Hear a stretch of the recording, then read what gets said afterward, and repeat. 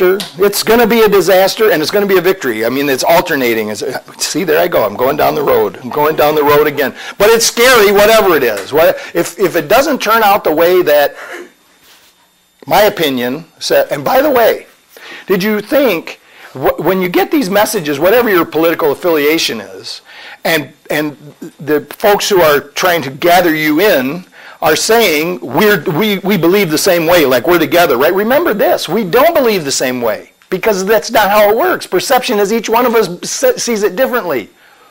We were talking about this last Wednesday. People were saying, well, who do I vote for?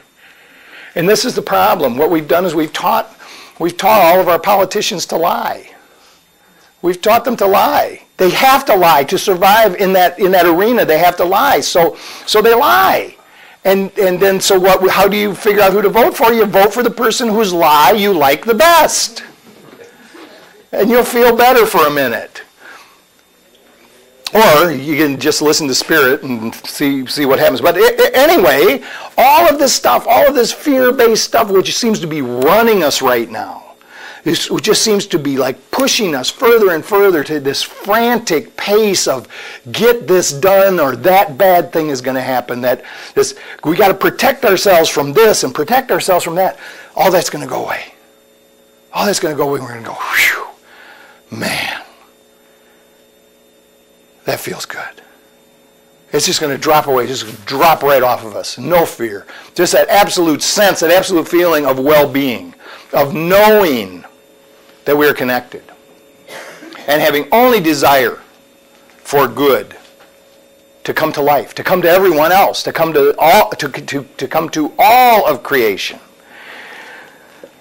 The second coming ends the lessons that the Holy Spirit teaches, making way for the last judgment, which in which learning ends in one last summary that will extend beyond itself and reach up to God.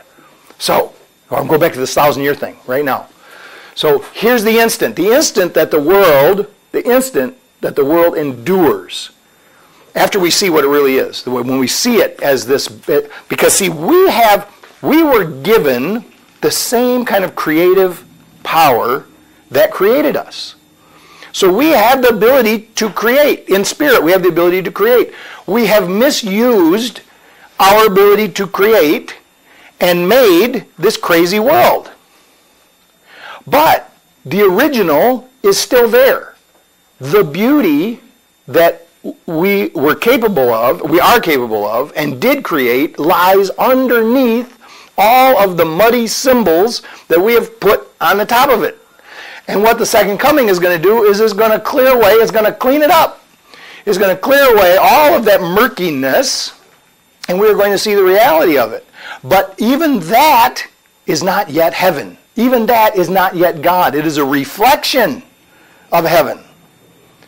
And so it endures for an instant, the Course says. Or it is the reign of a thousand years of peace that the book of Revelation says. Because this time thing, a thousand years is a blink of an eye in the time that we are talking about, in what we are really talking about, about eternity. The second coming is the one event in time which time itself cannot affect. Don't worry about what that means. Just let that, just let that go. For everyone who ever, oh my God, this is just like, this is, just, for everyone who ever came to die or yet will come, or who is present now, is equally released from what he made. In this equality is Christ restored in one identity, in which all of the sons and daughters of God acknowledge that they are all one. And God the Father smiles upon his Son his one creation, and his only joy.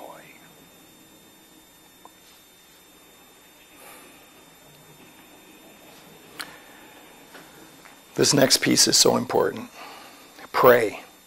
Pray that the second coming will be soon, but do not rest with that. It needs your eyes and ears and hands and feet. It needs your voice. And most of all, it needs your willingness. Let us rejoice that we can do God's will and join together in its holy light. Behold, the Son of God is one in us, and we can reach our Father's love through him. That's enough. Thank you.